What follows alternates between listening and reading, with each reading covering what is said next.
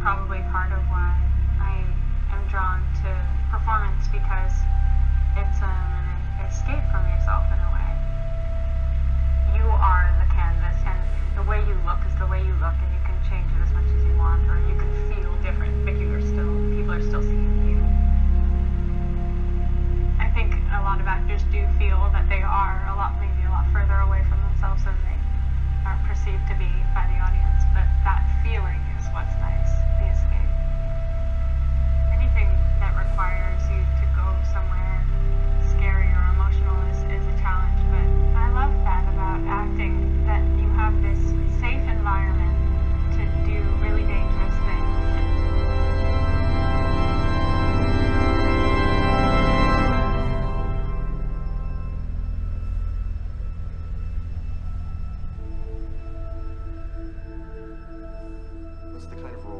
you're searching for?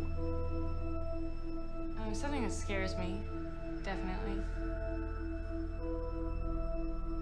You know, a character that on the first read you don't understand, or that does something that surprises you. It's really hard to come by this stuff, so it sticks out when you see it.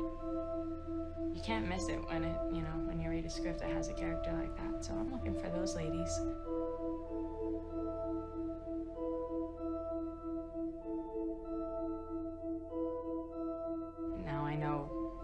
Really satisfying creative experience is like on a film set.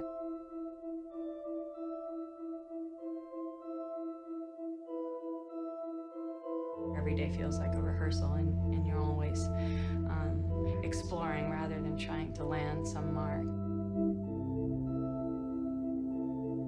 I will look for other filmmakers that, that work similarly, that are interested in the question more than the answer. I think that's a really fun way to work.